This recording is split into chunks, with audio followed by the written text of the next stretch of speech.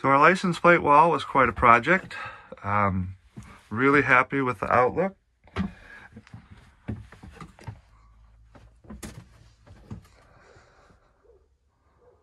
Lots of different plates there.